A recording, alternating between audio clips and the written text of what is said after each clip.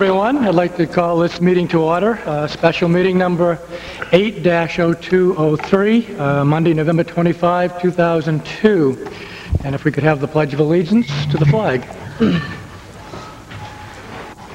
pledge allegiance to the flag of the United States of America and to the republic for which it stands, one nation, under God, indivisible, with liberty and justice for all.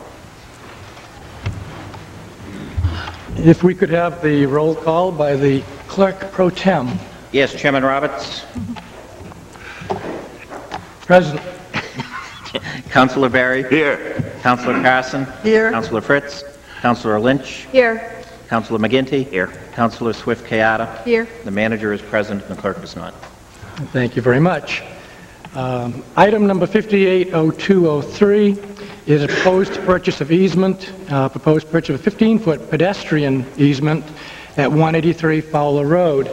And I would like to mention that um, when this issue was first brought forth to, before the council, I asked the council at that time if they wished that I would abstain or not participate due to my proximity to the parcel in question. Uh, Since it is a public forum, I would again ask whether or not the council wishes that I recuse myself from participating or voting on this matter. Councilor uh, Carson. Uh, Well, we did have some discussion about this, and I certainly feel that we all live in a neighborhood someplace in Cape Elizabeth, and there is no financial gain for you in discussing this issue, and I see no reason that you should have to recuse yourself. So I move to not be recused. Second. Any Th- further discussion? I agree, as long as there's no financial gain or anything. No, no impact. No. You wouldn't gain or lose anything, No? and it doesn't affect your property in any way. All in favor? Support, yeah. I guess five to zero on that one. The, um, is, m- let's see, I think t- two things I'd like to do. I'll have the town manager uh, give us a background on this, and then is Mike Duddy from the Conservation Commission here? I don't see Mike yet. He was going to do a little presentation on the green belt. So if the town manager perhaps would give us some background of how this all came to pass. If you don't mind, I'll move down there, and it might be easier, I have to refer to the map a few times.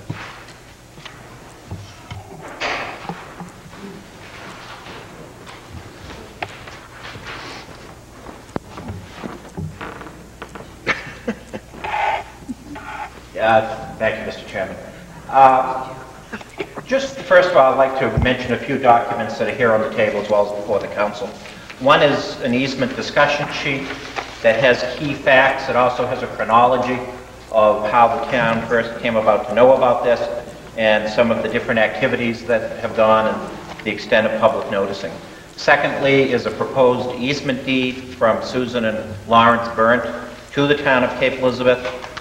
And uh, there's also an agenda there. And the council has before it just a small map that came from the surveyor that shows the 15-foot strip that extends from Fowler Road back to the Gullcrest property. It's for a distance of about 520 feet uh, in length that it extends.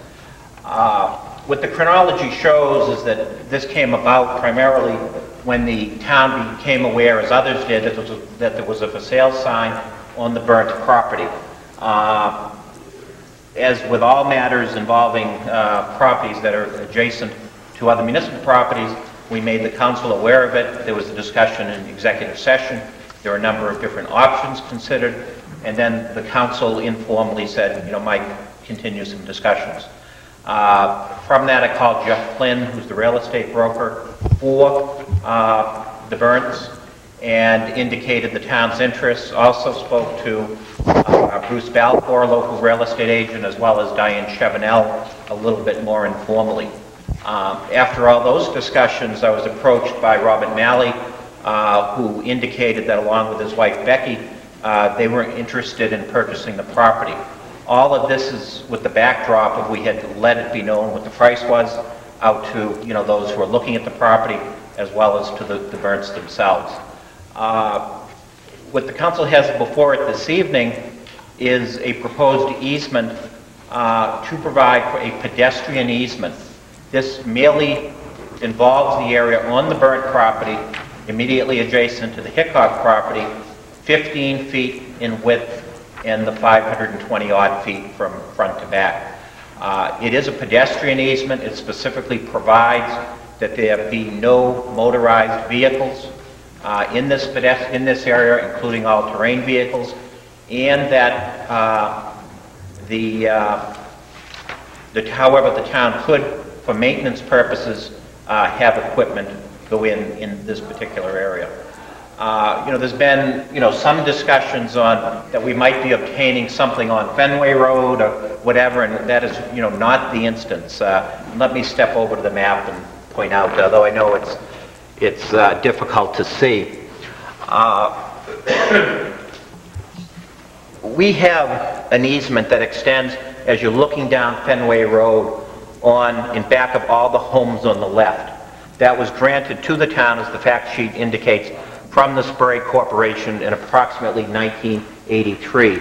Again, that specifically prohibits snowmobiles, it specific- it specifically prohibits anything other than pedestrian activity. That particular strip has never been improved by the town. It was acquired, but it- I think as everyone's aware, it is simply a, uh, you know, an area with brush and and other materials.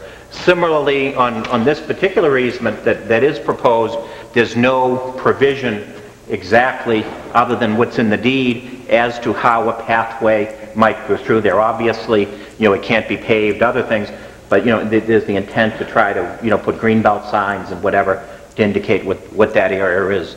A little bit, since Mike Duddy's not here, that, uh, I'll give a little bit of background, although folks far more expert than I am in the history, but the town has been looking at the preservation of open space and greenbelt activities for over 30 years now. My sense it came about an awful lot in the late 1960s when my own neighborhood of Eastfield was constructed, when areas such as Fenway Road were constructed, when Shore Acres was further developed, Brentwood, I could go through, there was a sense of loss of open space. The town formed a conservation commission, and it was, one of their main goals was a green belt that connected the town from Fort Williams through over to Lions Field, then across from Lions Field over to the town farm, and then cutting back across somehow over to Crescent Beach. It was, in the earlier years, it wasn't all that well defined how that might be, except that the town should look at opportunities as issues came along to find out how that might be connected.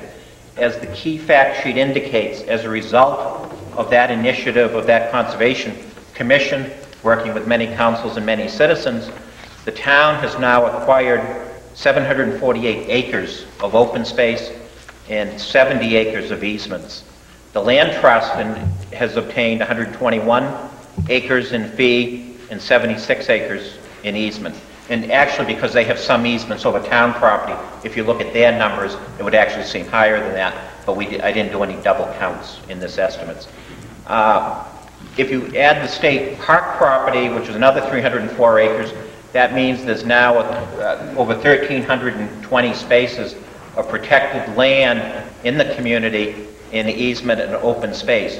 What what I'm referring to as the burnt easement would add approximately two-tenths of an acre to the 1,320 acres already protected. So in the, in the, you know, big scheme of things, we're talking a relatively small acreage compared to the over 1,000 acres that have been, been, been protected through private efforts, through town efforts and land trust efforts, uh, as well as, of course, as I mentioned, by the state. Uh, This particular piece is important uh, in that it really provides a connection from the Fenway Road, Fowler Road area up to the Gullcrest area, which is 96 acres, and to the Old Town Farm, which is 150 acres.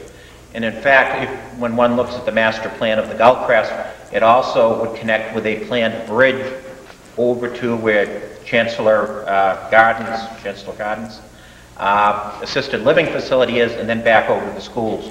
So it would enable all of the residents in that area in- to walk over uh, this particular easement uh, up into all that land and back for recreational purposes, to have their, their kids go to the ball fields that are up there, or even, you know, to walk their dog. Right now, there is no legal public access extending from Fowler Road to the Gullcrest property.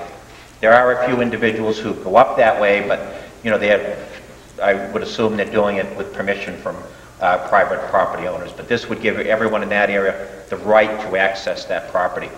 Uh, You know, I'm sure there may be some concerns about, you know, parking, some of those issues.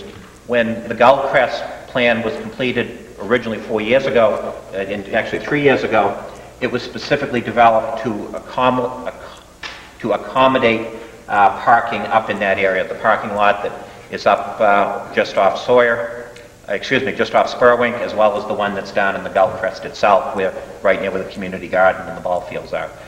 That's a a bit of a background on this, and I think, uh, you know, might help to uh, address some of the rumors that have been going on around town as to, you know, some of the different areas that are covered by this easement, and also, I hope, would allay some concerns about snowmobiles and ATV vehicles, because the easement document specifically provides that those are prohibited.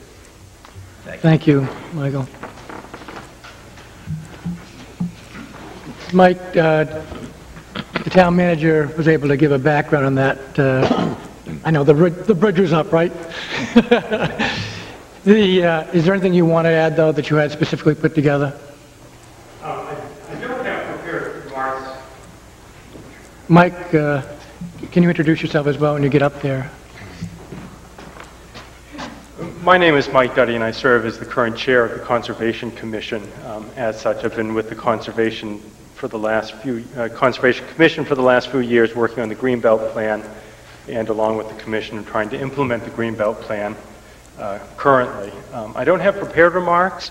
Um, I would say that uh, I'm more than happy to answer questions um, from the council as they arrive, or if they come to the council from, from the public. I have answered some phone calls uh, over the last day about the easement, um, and I'm happy to elaborate on those.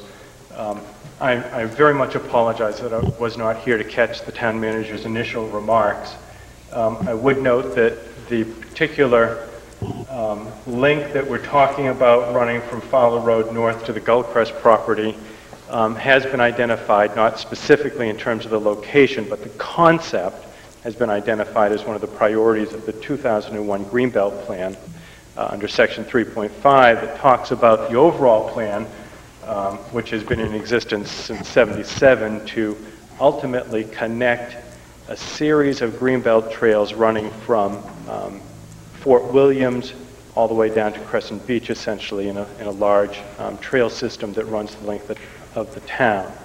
Uh, currently, if I can step away from the mic for a moment, um, I think that it's interesting that um, the town is almost divided in a north-south, if that's about right, um, situation with trails down here and separate trail systems up here, but there really isn't a connection between the two systems. And this link that we're talking about from Fowler Road, in fact, does that. It connects the sort of southern portion of the trail systems with the northern portion, um, being therefore a, a key way to bring the whole trail system um, together. Um, But beyond that, I'm happy to answer specific questions when they come up. Thank you, Mike.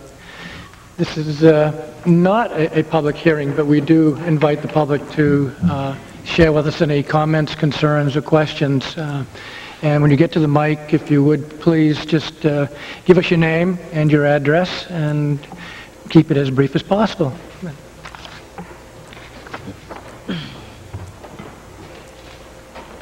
I'm Diane Joyce. I live at 2 Fenway, the corner of Fenway and Fowler. First of all, I'd like to thank everybody from our neighborhood that showed up. We got this uh, in our mail late Friday afternoon. Some didn't get it in their mail till Saturday. Some never received it. So we sort of got together and I read it myself on Friday, opened it up, and I was on my way out to do something, and it said 103 Fowler. I, I'll put this in the, my little pile and read it later. It's not exactly my neighborhood, but I'll catch up on it after. Saturday morning, I got a phone call from a neighbor saying, did you read the letter? I said, yeah, but it's not our neighborhood. He said, look at page two. It's 183 Fowler. It's across the street from you. Concerned, very concerned about the late, this is, was talked about, I believe, October 11th. We got the letter on Friday and Saturday, and it's a meeting at 5 o'clock on Monday. It's, a lot of people are out of town, on business, some people didn't get it. I have a great concern, short notice. I don't think that's the way we all work in this town. I've never I've called for meetings before when I built my house, and I sure as heck didn't get a meeting in two days. Um, It was months. And my other concern, before I let somebody else speak, is, um, Jack, I just have a couple questions. Normally, when something goes on in the neighborhood, you do come door to door. We didn't hear from you this time, and you are supposed to be representing us. Number one, are you on the Green Belt? Pardon? Are you on the Green Belt Committee? No. No, was you? Were I? Was I? Yes, at one time I was on the Your Conservation invol- Commission. when- Your involvement in the snowmobile, do you have anything to do with the snowmobile pass or the snowmobile club or anything in I'm a Cape? mem- I'm a member of that club. And you are a town council. Thank you. Anyone else? Michael?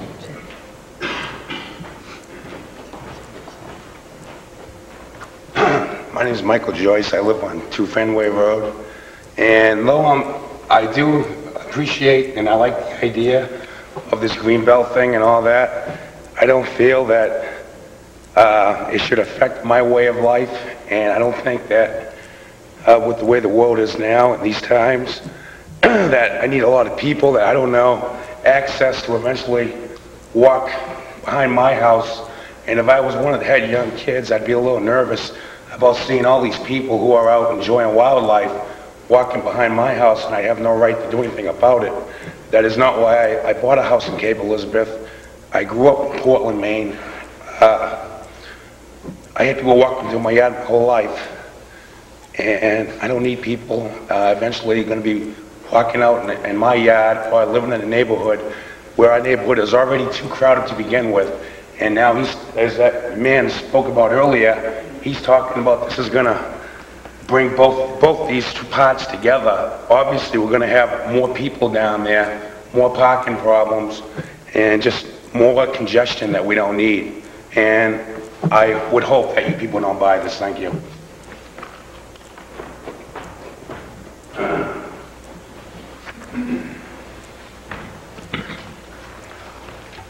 Good evening, my name is Philip Kemp. I live at 13 Fenway with my wife Catherine. Uh, Whether you're for the easement or not, as far as pedestrian passageway is concerned, linking these two parcels of land, uh, the biggest concern I think that most of us have is that snowmobilers currently, uh, when they're, not- even though they're not supposed to, do go down Fenway, do go down the easement behind our houses and use Great Pond, even though they're not supposed to. And I don't know whether they're actually currently allowed to use this area for snowmobiling. Is that true? Can they? Yes. They can. Well, that provides them the perfect access to now use that land and then go back through that easement, even though the easement is not for it. And we say that it's prohibited, we all know that the irresponsible snowmobilers use it. And it creates a problem for us. Um, I mean, I don't know whether you plan to put up posts and, and chains and things so that people can get through like they can at the end of Fenway to Great Pond, but you can't use any vehicle access.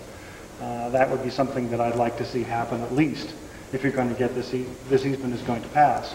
But obviously, you know, our neighbors make good concern, make some valid concerns that um, a lot of people like to walk through Great Pond in the area, and I realize it's a, it's a, um, a beautiful public area that everybody likes to enjoy, but our lifestyle and the, the houses that we have, obviously, it can be an issue when you have dramatic amounts of people uh, traipsing in front of your house and parking in front of your house, and sometimes it looks like there's a party going on at the end of the street on Fenway. And will this make that worse? Possibly. Um, I mean, the access, as you say, the easement is behind the uh, left side of Fenway. But uh, anyway, the most important thing I wanted to mention is, from a snowmobiling standpoint, that is the most intrusive if they're going to be using that easement back and forth, whether they're supposed to or not. We need to find some way to uh, block it off from that standpoint. Thank you. Frank? Good evening. I'm Frank and I live at 11 11 Fenway Road, Cape Elizabeth. I have a question for the council, please. Are People who live on Fowler Road and on Fenway Road, are we residential residents? This is a residential area, so our property is residential. Correct. Okay. Over the past three, four years, and especially this summer, I've had to pick up dog messes off my property beer cans, bottles of booze. And on one occasion, I had two bottles, these were gallon bottles, mind you, that were broken or smashed on my driveway. And I have no problem with people parking in front of my home, using the pond, and going out and enjoying nature. I have no problem with that whatsoever.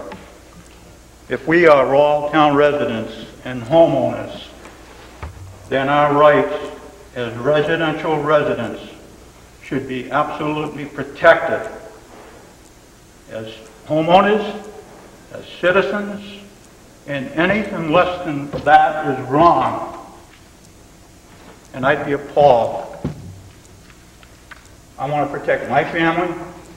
I don't want people coming down back of my property, using it, littering on it. I think it's wrong. And this is where we're heading. You said no snowmobiles are to be used in the area. Is that on today's standards, or is that down the future as well, 20 years from now? Or never? And maybe that's the best word, never.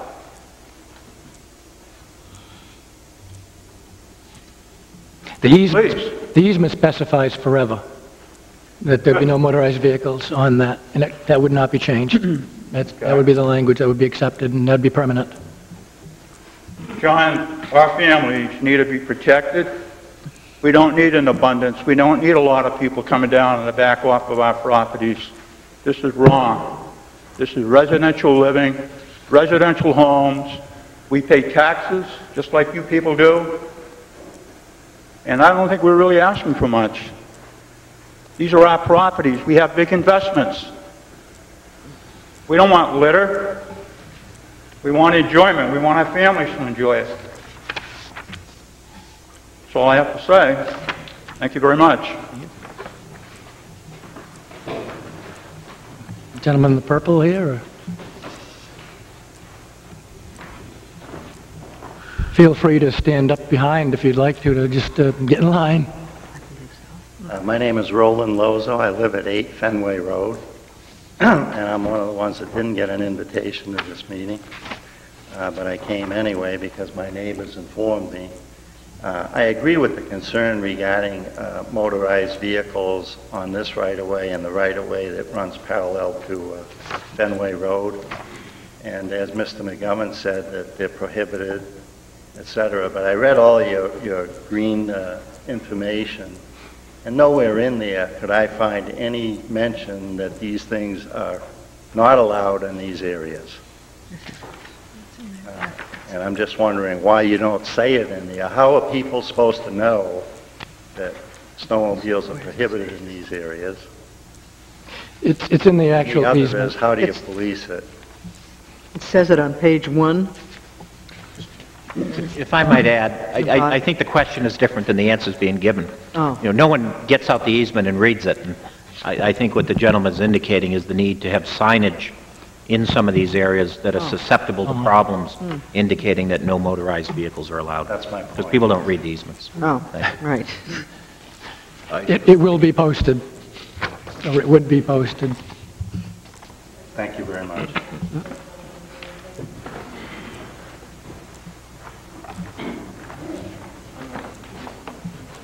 Good afternoon. Good afternoon. I'm Jim Hughes, 10 Fenway Road. And we do have a nice neighborhood, peaceful neighborhood. And um, so when I got uh, a copy of our letter in the mail, um, I think it came Friday, but I opened it Saturday, I think. Um, It definitely raised some concerns, because I'm a big believer in the green belt, I'm a big believer uh, in paths connecting with each other. And so, um, the thing that concerned me was page two, where it talked about uh, an easement um, going down between the Fenway properties and Great Pond, because uh, the easement's on the other side anyways, but maybe it's just my reading of that. Um, And, and then when uh, there was actually a blue marker put at the end of the Joyce property, right in front of, right parallel to the one um, that's going to be the easement we're here today. And that definitely raised some concerns that perhaps people will be trampling through my vegetable garden. um, another concern was, um, I think as Frank mentioned, there have been a lot of parties down in the Great Pond area and fires, and, and, um, and so fire trucks come down there about once every couple weeks. And would this provide another path for the kids to escape from the police, or would this exacerbate that? Um, was, was a further concern. And also another concern was snowmobiling, uh, and especially for the who live right next door. But since then, I have made phone calls to Jack Roberts, to uh, Marianne Lynch, and to Henry Berry. And my concerns, and those are my three concerns, the uh, easement where there's not one, and exacerbating the juvenile situation, and noisy snowmobiles. Um, I have spoken to, to Henry and, and uh, the other town councilors, and I'm convinced that these are, my concerns have been alleviated. Uh, my understanding that there's not going to be snowmobiles allowed in that 15-foot path. Correct. And that um, the easement is on, uh, is already there from 1983, but that's another issue for another day. I personally think that going from the uh, property that goes into Great Pond, that just going down Fenway Road is fine without going on either side of the houses, um, wh- whether it be on the easement that, that Sprague uh, has already agreed to. Um, and um, I, I think that uh, there's no need for any easements on, on that side. So um, I'm convinced that uh, the concerns have been taken care of. Thank you.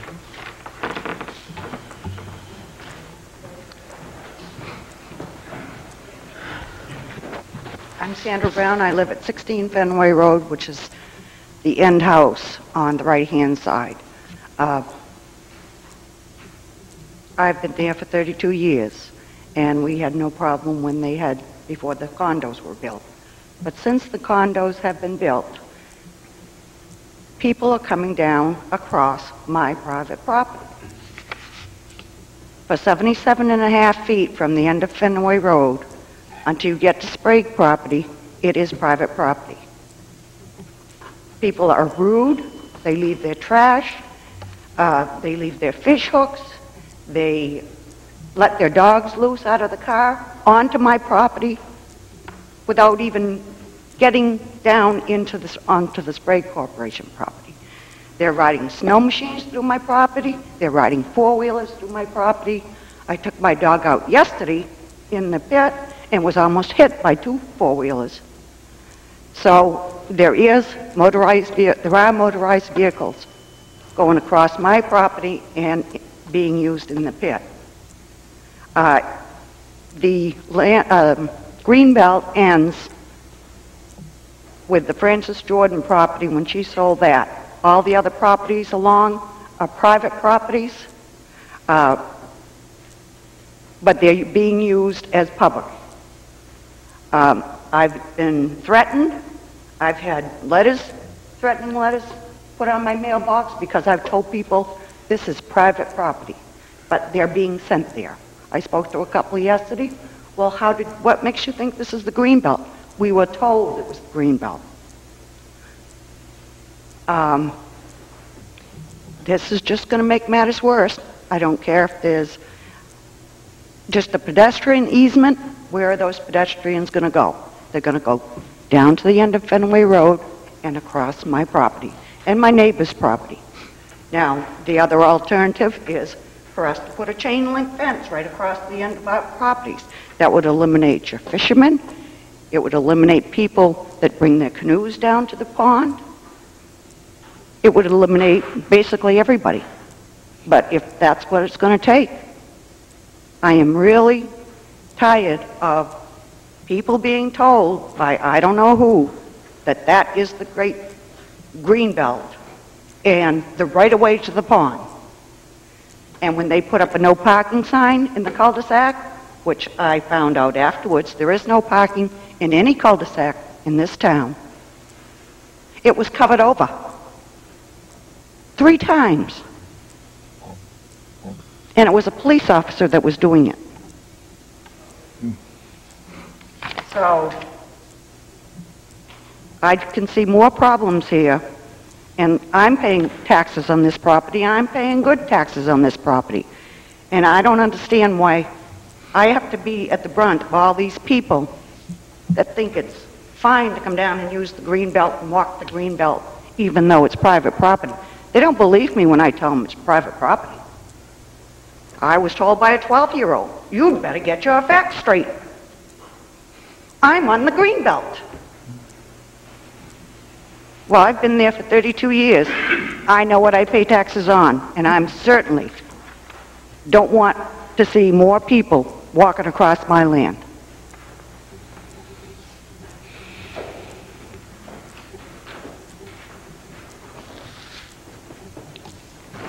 I'm Bob Hickok. My wife and I are the ones with the house closest to this easement.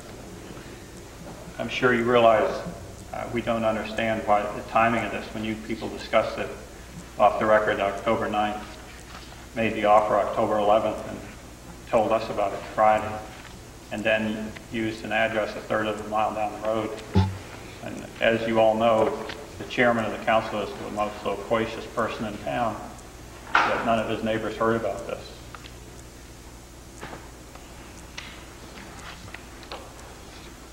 Have any of you seen the property, or been by it, or really looked at it? What is your address? 183, sorry. Property's 181, and Jack Roberts is, um, no, no, I'm sorry, I'm at 181, the property's 183, and Jack is 185. So you can see from this Exhibit A on the property, on the east side of the property, which abuts our land, it's all wetlands in the back. If you take a look at the west side, it isn't wetland, it's dry. So your $20,000 to the Director of Public Works to purchase this property may be a down payment for him, or maybe not. It certainly is a down payment on the town of Cape Elizabeth and what they're going to have to spend to develop this property. One side of it's completely dry and will cost you about 10 bucks to make it a trail. On the side next to our house, you're going to have to build a 195-foot bridge across a swamp. The two years out of the last seven was frozen. The last five was untraversable unless you have knee boots. That's not going to do pedestrians across. Of course, if we don't have any snow, cross-country skiers aren't going to be back there. The other side of the property, which goes between the two garages of the Roberts and uh, the Matt, um, I forgot the director of public works, that goes between two garages. This trail goes by our bedrooms. Seems to me it makes more sense to spend zero additional dollars to put it over there than, I don't know what a 195-foot bridge, bridge costs. But if it's anything like the new bridge that's back there in Gullcrest, I, you may spend twice as much money before you're done. The new bridge is eight feet long, eight feet wide. Certainly can accommodate the Beach to Beacon race, let alone snowmobile, I mean, cross-country skiers. Another concern, I mean, I, I, just not notifying the citizens until the last possible minute is inexcusable, is all of the trails back in Gulf Crest are snowmobile. The snowmobile club developed them, probably most did, Jack Roberts probably did 95% of the work. But this, it's all snowmobiles back there. Right? You've been back there, right? You know it's all snowmobiles. It's not snowmobiles only, but do you really, do any of you cross-country ski? Anybody go out on a snowmobile trail and cross-country ski? Well, my wife did. She got knocked over by one who kept on going back there. So we ski up in Jackson now. You're going to build this property for in the winter to funnel cross-country skiers into the snowmobile trails? Who do you think's liable for that?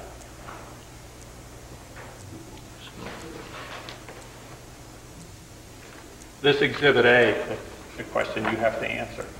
I mean, you, I would think, Because if somebody gets killed out there by some kids going 50 or 60 miles an hour, like I've seen when we had snow back in the old days, um, you guys are going to be liable for that. I know there's a meeting come up on December 9th to do, to try to do some different kind of trail. but right now it's 100% snowmobile trail. Anybody else can use them, especially in the summer. And I, the snowmobile club built it, so I've got no problem with that. It's just, you're funneling non-snowmobiles in there. And there's a trail right behind all the property. Um, I want to get back to the timing of this. One of the things that either the Greenbelt uh, report or the 2001 or the letter that sent us said was that this easement would come out right across the street from the easement on Fenway Road. You can't tell from these maps, which side of Fenway Road is that easement on? It, it also mentions in the Greenbelt report that you need 1,500 feet of boardwalk to do anything with that. That would indicate the west side of Fenway Road, but other people think it's on the east side, which other people think is Sprague Lane. Does anybody know where it is? Apparently the person who wrote the letter does, because he said it's right across the street from this easement. Nobody knows? The easement is 12 feet behind the properties on the left side. Why don't you read from that letter, since you say that's what the letter says? It says I don't think that's what it says, sir. No, it says the east side of the property. Talking about the letter to the... Look at the letter you Here, the easterly side of the property. It's the westerly Let me get the letter. Ken is Oh, okay.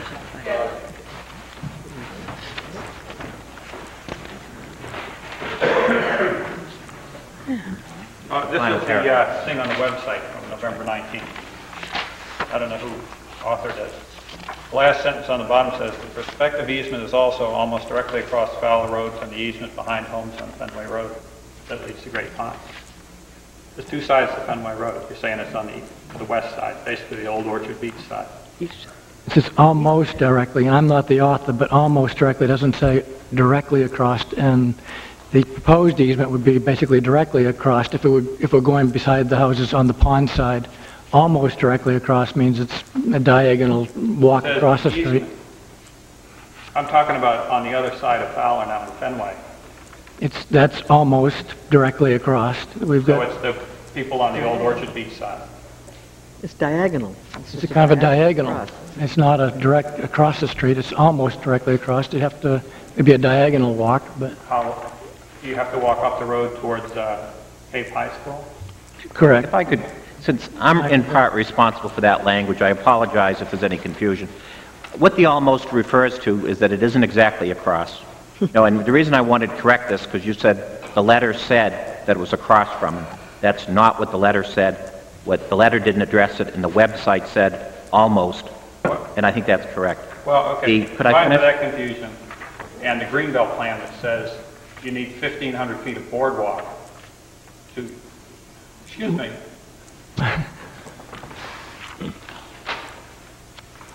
This is the 2001 Greenbelt plan. Page 16, paragraph 16.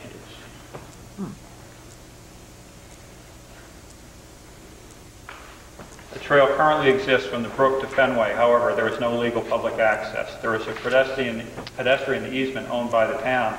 The construction of a trail in this easement would require approximately 1,500 feet of boardwalk construction due to wetlands.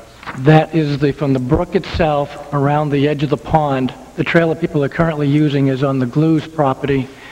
So if they would have put, if they would have put a trail down there that was uh, totally on town property, it would have to be a boardwalk along the edge of the pond itself, not when you get up on the high ground. That was, the- that was the boardwalk that they were referring to in that. Oh, okay.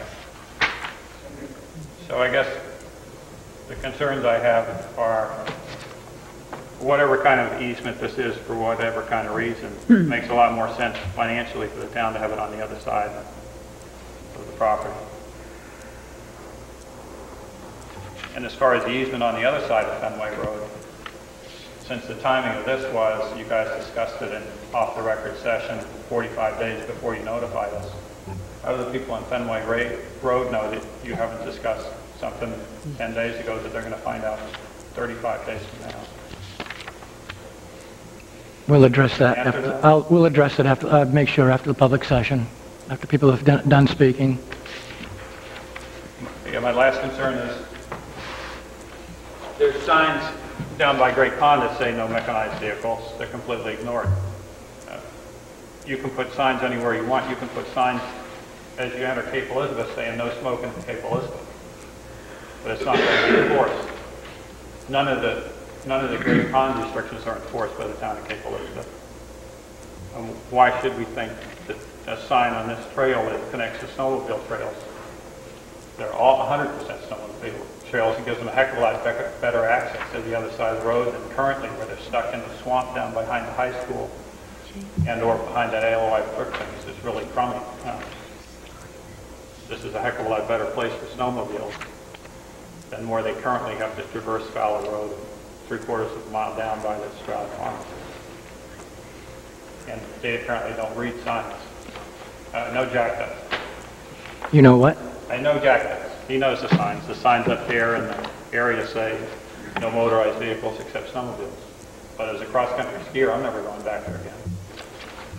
Uh, And when you look in this 2001 plan, it talks about running and giving priority to cross-country skiing. I guess this was just sort of, the implementation is, that's another plan that has nothing to do with this one. Thank you. Is there anyone else like to speak?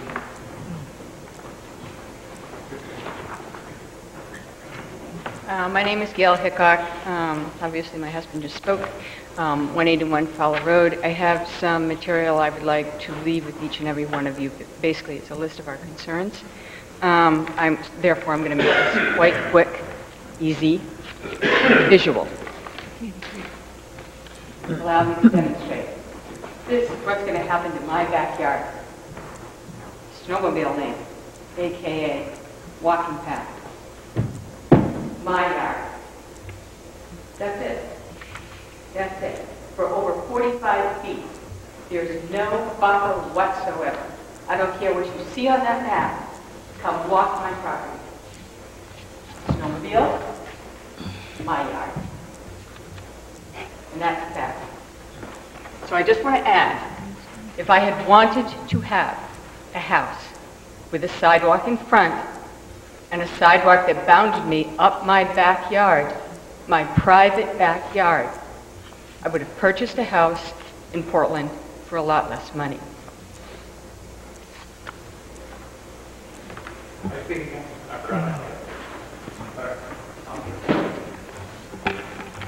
This Exhibit A is the uh, description of the property.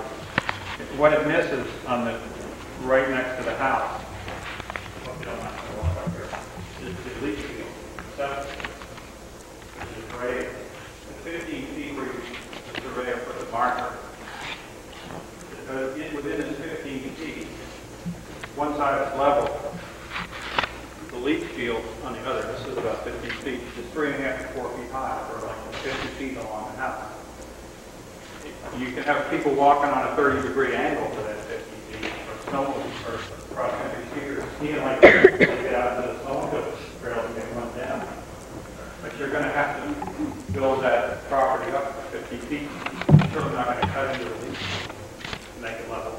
So you're going to have to build it up.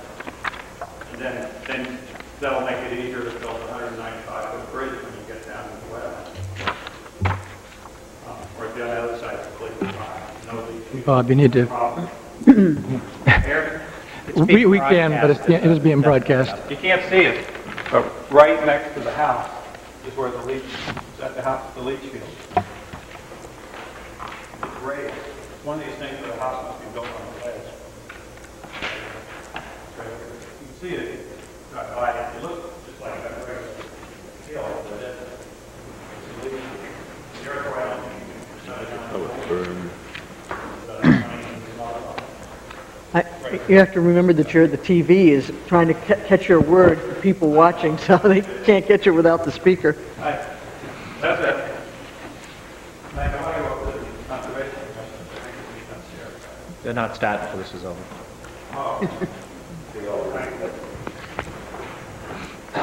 Uh, My is Jim Sullivan, 1 Fenway Road, Mary Sullivan. My concern is uh, the meeting tonight at 5 o'clock um, and the shortness.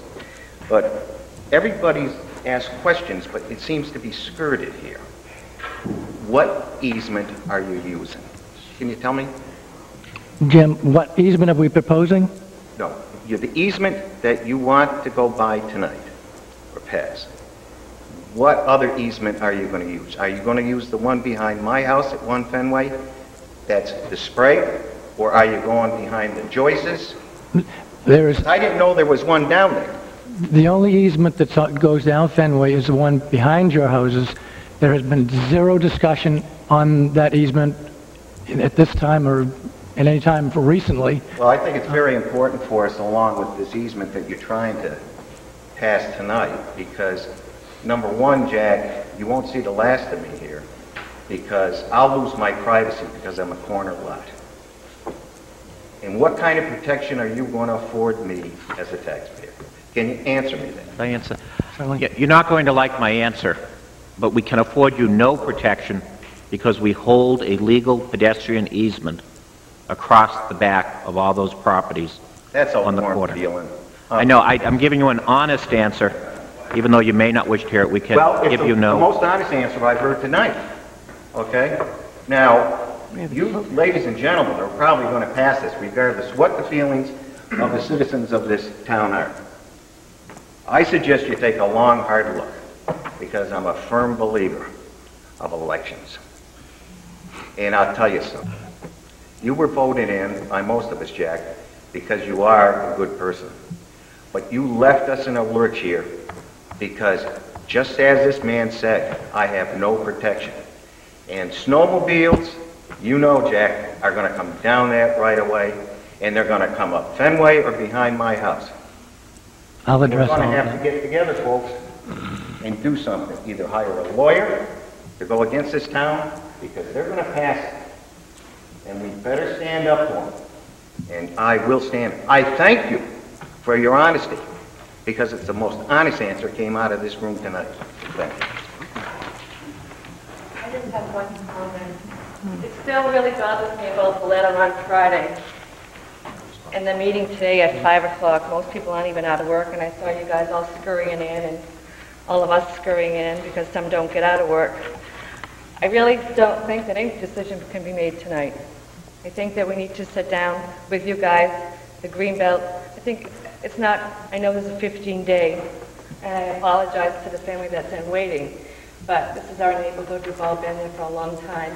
And I think we need to sit down at a workshop and go over all this and the possibilities. As um, one of the ladies had said, that we asked about this dotted line down here, and she said it was a wish list. Well, the wish list will be next once this easement goes through. So I think that we need to have more meetings, more discussions, so we as a neighborhood know where we stand and what's going on and what is the step after the next step. I think we have that right over anybody. And I did speak to Jack on the phone, and, and I had a lot of concerns with Great Pond.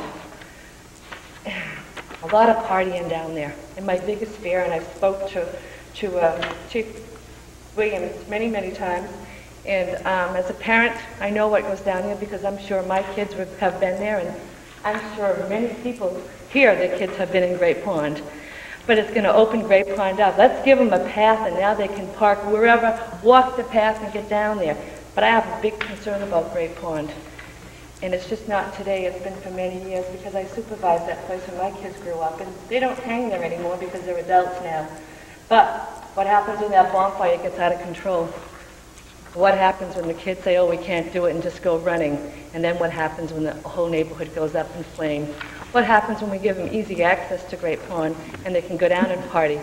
And then we have problems with people being drunk and doing drugs and something bad happens. Who's responsible for all this stuff? Every Friday and Saturday night, and I gave the letter to Penny. I just went up to the police station and got a quick intake. It doesn't include the fire department, but most Friday and Saturday, or one night or the other, spring, summer, and fall, I get woken up in the middle of the night because of the fire trucks that are coming down Fowler Way. They have road, they have to make a quick stop to make the turn onto Fenway to get out and put out that fire. I thank God they're there and the police are there. And I thank God for the family that saw it and called because I call it when I can. There's a big problem. It's a big party scene and we're just going to open it up even more. The problem with getting to Great Pond is parking. Mm-hmm. These kids have to park all over and they trape in. They start in in the afternoon. Parents drop them off at the top of Fenway Road and let them go. And I've, uh, I've actually gone out and said to parents, what are you doing with your kids, high school kids? Well, they're going to hang out. And I'm like, do you know where they're hanging out? Great Pond, they're going to party. They don't care. We're going to pick them up at midnight at the same spot. So now they have a system. So let's give them an easier route. Let's let them walk right through the, to wherever. There's a big concern in Great Pond area. It's a beautiful place. I grew up down there with my kids. I went fishing, we went hiking, we played. We did lots of stuff down there, and everybody should be able to go to Great Pond. But the easy access to snowmobiles, and I did step over to um, Bobby Gale's house this afternoon where the blue flag is on the house for sale. And I stood and waited for a car to come on this proposed easement. And I waited, and a car came. And I was amazed how close that car got to me before I could actually see where the car was. Now we're talking young people, old people, kids, kids in carriages, motorcycles, snowmobiles. We're talking anything. You're going to step out in that street because of the curve, and somebody's going to get hit. So you need to do, I would like to see a study done on the traffic flow, where that easement would come out. Is it safe, or is there a better, safer zone where people just walk across the road because of the way it is? Is there anyone else? Mary? Mary Sullivan, One Fenway, Greenwood. Now. Hi. Mary Sullivan, One Fenway Road. Um, I I don't understand this 15 days. Can you, would someone explain this to me, or maybe I didn't read it, or? Mike, maybe it's time to address part of that. Yeah, the, the 15 days is not a contract that the town is a party to. It's a contract between the buyer and seller indicating that this issue needed to be resolved within 15 days. Okay, and when was that 15 days? That, I believe, started on the 17th of uh, November. I knew about this, I was in a craft show a couple of weeks ago, and I knew about this then. So that's why I'm questioning it. Why didn't we know about it? You knew about the 15 days two weeks ago? Not the 15 I days. I knew what was going, I knew what was going on. I came home from a craft show and, and told my husband what was happening. We even tried to keep the secret. Now, No, I know, but I just, I, that was uncalled for. But I really feel that we should have been notified. Mary, if I might respond, I think Sure. the first time that the issue was brought to us, um, rather than just saying we were going back to meet in, in um, executive session on some undescribed issue, it was listed that date that uh, the town had, had learned of the property, um, and uh, so they gave the address and the purpose of the meeting at that time. And the council debated different ways of addressing it if they wanted to. And that's when I first said, you know, maybe I should stay out of this, but they felt that I had no financial interest. I would have stayed right out of it if I could. I understand that. Um, and then the house was on the market. Several buyers looked at it that with, uh, with that- that option that we had given to the realtor. The price came down two or three times, and that's when the, the Malleys def- had, had gotten down low enough. We did not come to the neighborhood ahead of time because we didn't know when that, un- until a contract was issued, that anybody would accept that offer. Why get people cranked up on something if nobody ever accepted that offer? And then the, the notice went out as soon as possible um, this past week, and I don't know why people didn't get it. The notice on the address, it was clerical. It and I don't want to be pointing fingers at the person that did it, but it was a clerical error. It was no. I got the letter, and my first call was to Mike. I said, Well, if they "Did you had see this?" 15 days, why other I know this? Because the end of 15, the 15 days would be up this coming weekend. We've got the, we've got the holidays, people are going to be gone, so we needed to do something now. The 15 was not the town. And the other thing on that was, there was no public notice even required. And the council was insistent that everything be above board and a notice go out to all the neighbors. We could have done this without even having a meeting, but we did not want to do that. I appreciate We've, that. we've been over backwards. It's been at least in three out of papers I've seen that have had a copy of it prior to the notice going out this weekend. Mhm. And we, literally, we have been over backwards to make sure that the neighbors knew this. And I, I insisted on it. I said, you've got to notify the neighborhood so they know I don't want anybody to think we're trying to pull a fast one. And yet we're being criticized for not getting the notice out. right-of-way up by the Chevanel. Hmm? Is there not a right-of-way up by the Chevanel? respond to that? Sure. Yeah, the, Mrs. Sullivan, the right-of-way at the Chevanels, we actually, I s if you read the chronology, we spoke to Mrs. Chevanel during No, this course but, yeah. about the possibility. It is not, it can't go on that existing right-of-way because the town has that right-of-way only if we develop in the back there for residential purposes. It would only if we built a house in back of the Hickox, Okay. up on the dry land there, built it in back of the Roberts, and back of all, you know, we could build 10 or 15 homes, or anyone could. We But could it's solve pretty that much right of way. wetland back there. Yeah, but there's a lot of, there's a lot of upper land there, but that can only be used as a right of way for residential purposes for no other use. Okay, so if you, if you go behind our houses on, on where I live, on the side that I live on, that it won't, you won't be building anything, no walkways, correct? Is that how I interpret it, or did I interpret it wrong?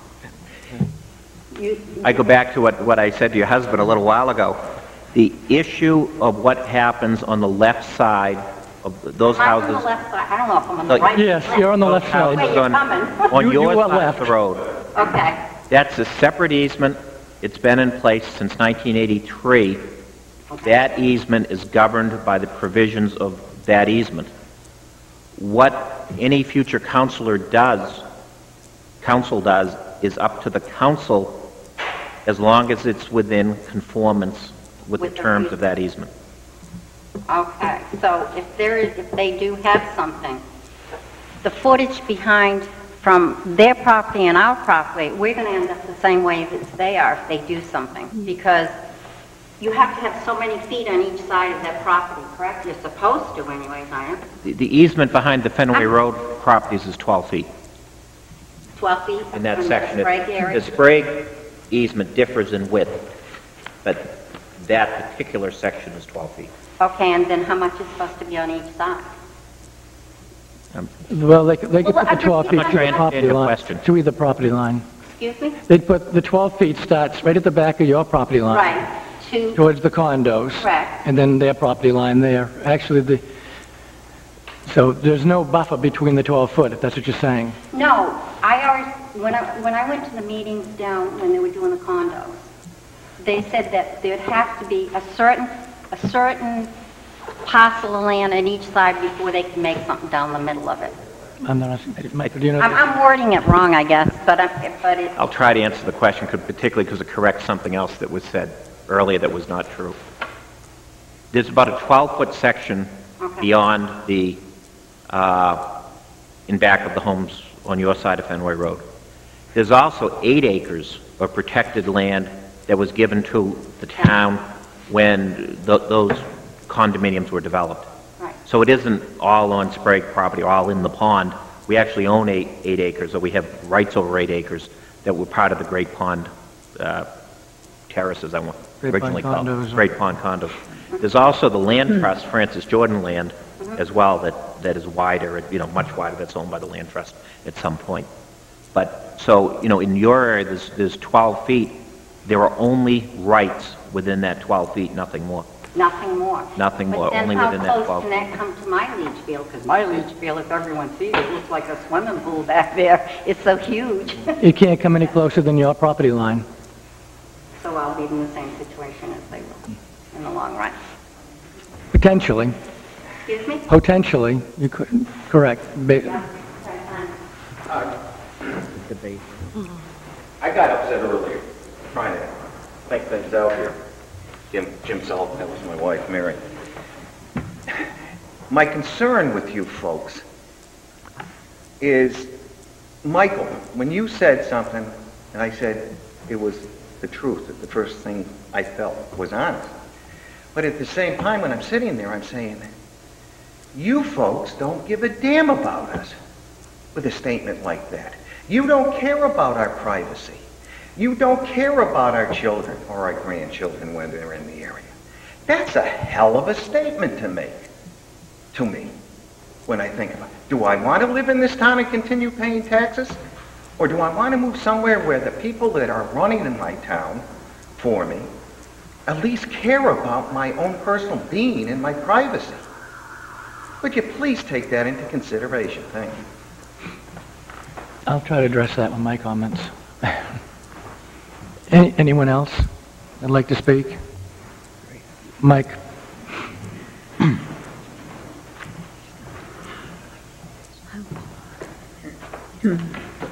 Um, At the risk of being lynched after the meeting, come back up for a second go around. Um, I've participated in um, a half a dozen or so public hearings since um, I've been on the Conservation Commission, probably more.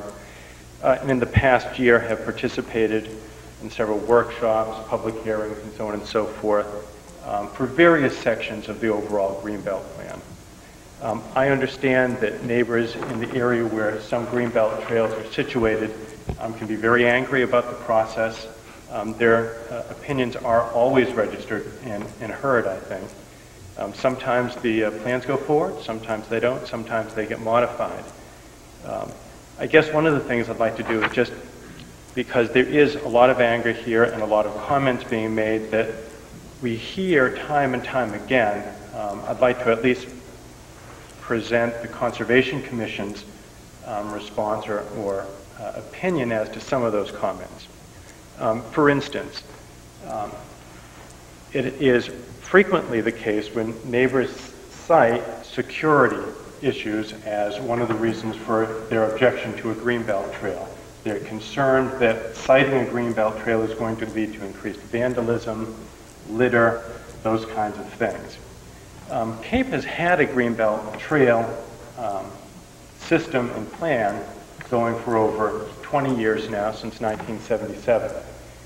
Um, I think it's a fair summary to say that over the course of the last 20 years of history, it has proven to be the case, I think, without exception, or at least without much exception, that when a greenbelt trail is situated in a spot that has previously presented problems, um, or just located in a fresh spot, that, tr- that having an officially blessed, well-signed trail that is maintained by the commission and thus gets increased supervision, um, that the Greenbelt Trail has not led to any increase or any occurrence of vandalism. I think it's also a fair statement to say that in other parts of the town, and this is the point I was trying to make, is that when a Greenbelt Trail has been constructed in an area that has previously been a problem area, we've seen the problems diminish. I, what I mean by that is there are places in town where current trails that are just on people's private property that have been in usage historically for a long time dead end in spots. And when you have a trail that dead ends, the people who are walking on the trail um, frequently just look for the fastest way off the trail, which is frequently across somebody's backyard. When a greenbelt trail is then put in place, what we see is in, with signage and with advertising and publicity by the town, supervision and maintenance by the Conservation Commission, we see a decrease in problems. Typically, location of the greenbelt trail based upon the 20 years, 20 plus years, almost 25 years of experience in Cape Elizabeth, suggests that problems diminish that rather than are exacerbated by a, tra- a greenbelt trail. I know that you're very angry because I listened to you, and I only hope that you can separate out some of your anger over timing and surprise um, to listen to some of the experience other neighborhoods have had in town. Um, we have located trails uh, where there are where, where the trails are open for snowmobile usage and have been for many many years.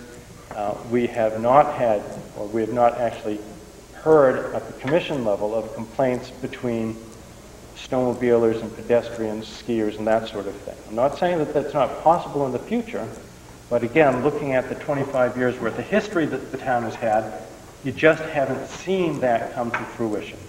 Again, when the trails are put in and signed and so on and so forth, they're typically used more officially and certainly are supervised by the commission. That helps diminish those kinds of problems. Um, I, I'm not aware, maybe this is going on, that there is improper motorized vehicle use on trails that are actually signed as greenbelt trails. Um, Please bring it to our attention, and we can deal with it. For instance, behind, Been going on for years. most of the trail system around the Great Pond isn't greenbelt trail. The greenbelt system ends at Alewives Brook. And snowmobiles can't even use that section because that section of the trail is through a very wet area that has a very narrow rustic boardwalk planking system um, that you have to cross over. I, mean, I use that trail system all year round, half for years, and I haven't seen any evidence of snowmobiles on the trail.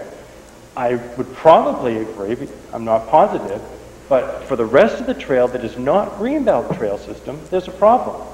I think probably bringing that problem forward to analysis by the Conservation Commission can help solve that problem.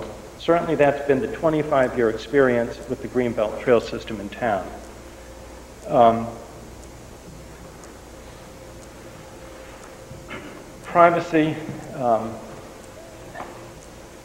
as it relates to a possible location or possible use of an easement behind um, the houses running along the left side of Fenway when you're standing on Fowler and looking down Fenway. The Conservation Commission has not yet tackled the issue with what to do about Fenway. We have uh, become aware of many complaints people have, um, both in terms of the property owners at the end of Fenway and in terms of people in the town calling and saying, why are we getting screamed at by people on Fenway when we go ahead and use that um, section of a trail system? It's not Greenbelt. It is on our agenda for discussion in terms of the next six months, um, and we're going to look at all of those things. We have been very uh, alive to people's privacy issues in other parts of the town.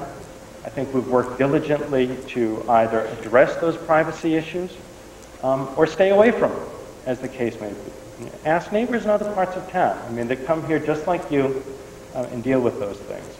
Um, it, it is related, I understand, to this easement, but it is also a separate discussion, and I hope all of you will come to the Conservation Commission meetings and listen, provide us your input. It's very informal. It's the second Tuesday of every month, uh, right at the ACP conference room. I welcome your input. We have visitors all the time. Please come and listen and, and be, be engaged, and we'll deal with the privacy, privacy issues and so forth as they may exist um, uh, for that uh, uh, section behind the houses. I'm not aware yet of any interest in trying to develop that um, at the moment. Um, I question for you. Talking about, you're just giving us your personal opinion, you don't have no actual paperwork or independent research to actually prove this. Uh, This is all just personal opinion from your limited, whatever it is. Mike, we we need to, we we can't be taking questions from the audience. Right. I, I understand all I am is, in fact, providing the, uh, the input from the Conservation Yeah. Commission based on our experience. Let me just finish with this thought. I mean, the Greenbelt system um, uh, is for all the residents of Cape, and has really been a tremendous success story in other parts of the town when the neighborhood um, airs their concerns and then gets behind this um, um, system. We've just put in a new link, which many of the people on the uh, town council are familiar with, uh, from Two Lights Road into the Highlands Trail over what was known as the St. Barth easement.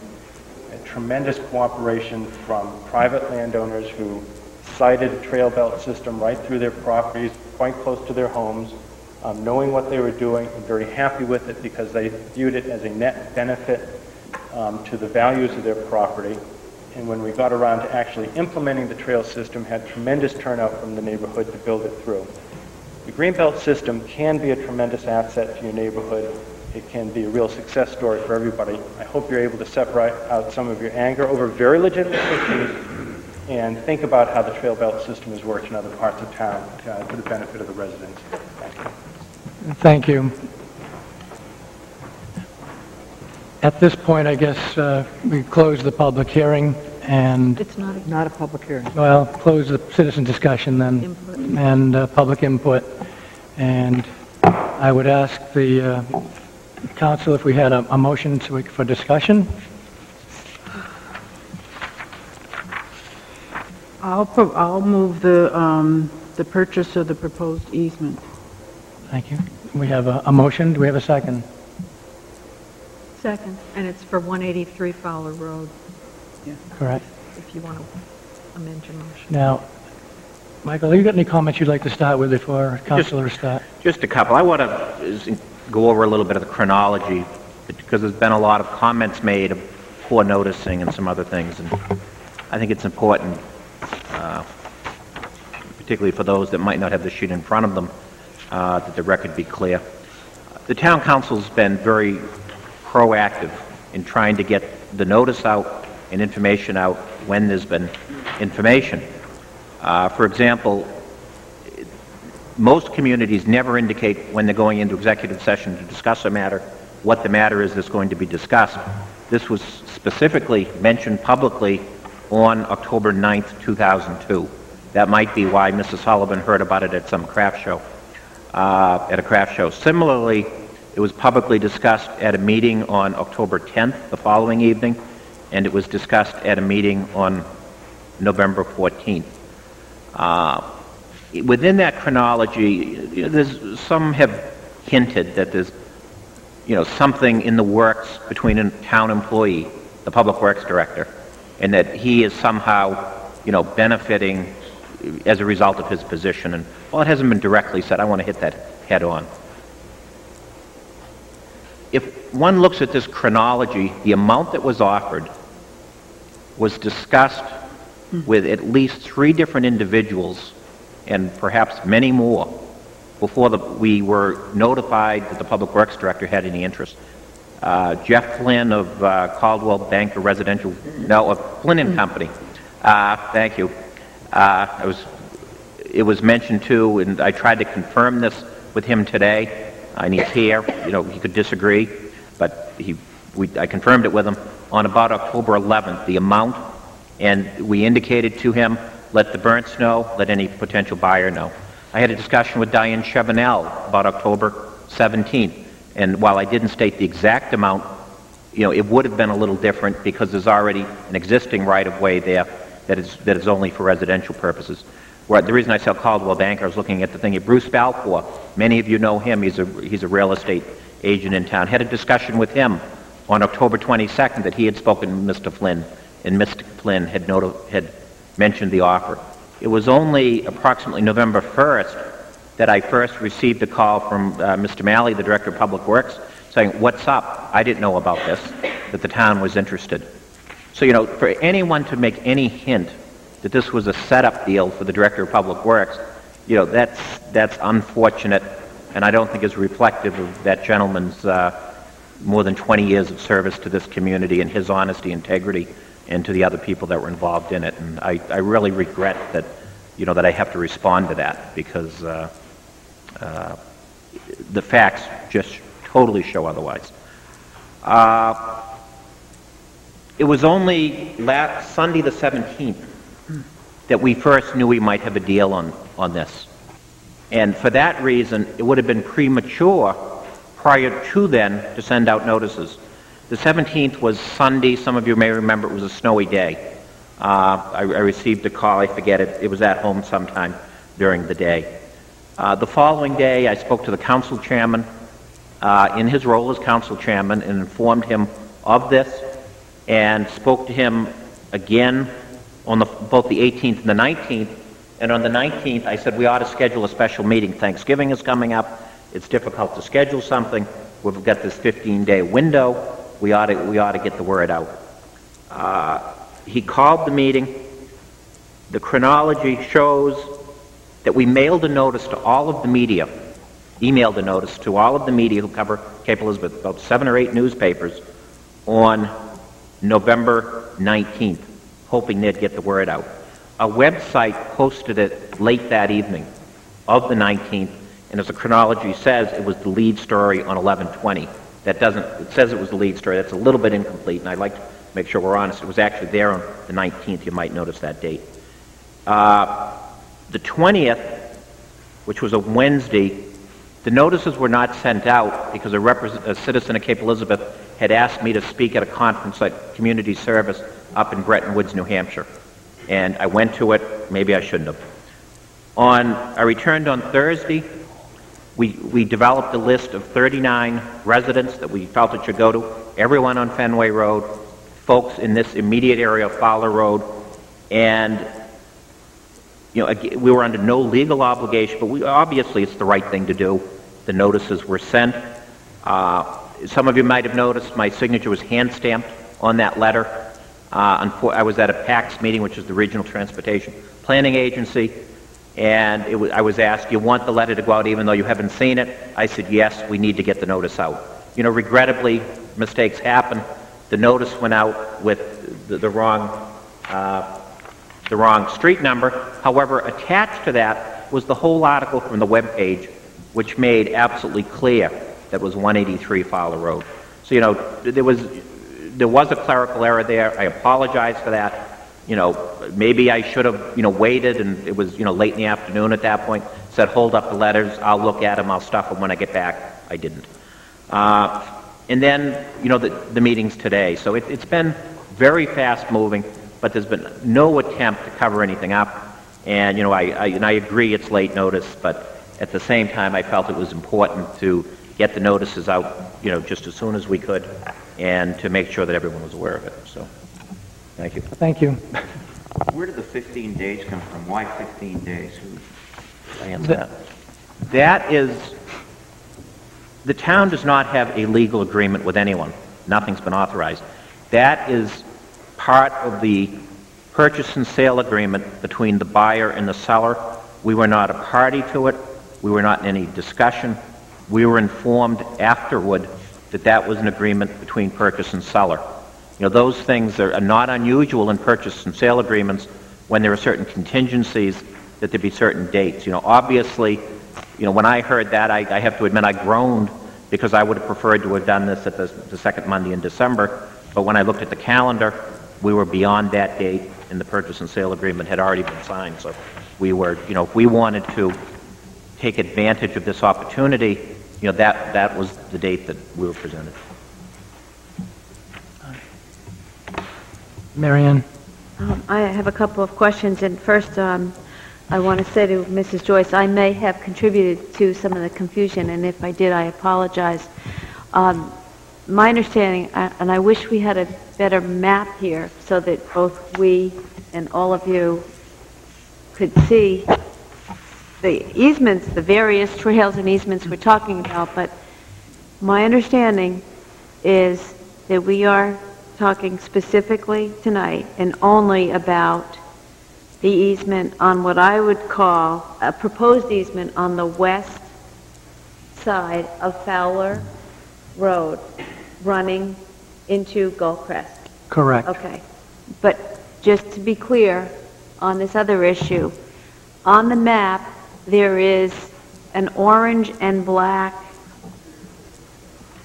trail marking, and maybe someone on the Conservation Commission, or Mike, you can tell me, it runs from the end of Fenway into Great Pond, and it's marked in orange and black on this map. What is the status of that particular parcel? I thought, I thought that was a, and I use the term wish list Yeah. for the future. Yeah. It uh, is not currently A before us, nor do we have rights to that, but if I'm wrong on that, I want to get that clear while we're here. Through the chairman, may I answer that?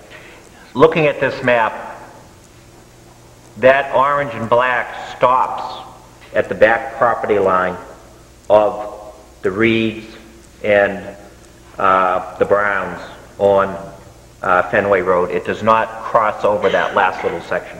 It stops just short of it. And who, is that an easement in existence now? That's what I'm trying to figure out, is what is the status of that orange and black? Th- That is an easement in existence now, but it is not, it does not extend all the way to the cul-de-sac uh, at Fenway Road. However, I, I need to point this out, and again, it's not going to be popular. There is a state law that says that citizens cannot be denied pedestrian access to Great Ponds. That's, in fact, I should have brought the statute with me. That's, that's an existing state statute. And, you know, I hate to raise that because I don't want to invite more But activity. just so I, I'm still trying to understand, Supreme Mike. Court case? Conant On that Jordan, map. 1948. On at that map, please. at the end of Fenway Road, Yes. there is a, an orange and black link. No. It, my, I'm pointing out, it is, if you look at it closely, it is not at the end of Fenway Okay. Road. It is at the back of the property lines on this map of the, the two houses at the end. It See, doesn't actually connect the blue And does cap. it go out to Fowler? No, it doesn't. It does, does it go anywhere? Th- That stops there. Oh. There is another easement, though, that has been discussed, that goes along the backs of all those houses on the left side of Fenway Road, that connects That currently exists? yeah, that currently exists, that does connect into the Bright Cove, or- or the, the, which is the easement from Great Pond, and then connects into the Sprague easement, into the, uh, the whole network, all, all the way over to, uh, the ice cream stand over Okay. 77. For that easement that currently exists, snowmobilers do or do not have a legal right? Put aside what they do as a practical matter, but do they or do they not have a legal right to access? I, to access through the end of Fenway Road, Yeah, the end of Fenway Road appears to be private property. Pedestrians would appear through some, you know, and it could be debated, what about do over have the right to go easement? through there if they're going to the pond. What about over the easement that Over runs the- along the back? All of the Sprague easement, snowmobiles, not- which includes, that's the one in back of Fenway Road, the Sprague It's easement. just Sprague easement. That's the condo. Snowmobiles are specifically prohibited. Prohibited, okay. From the condo easement also.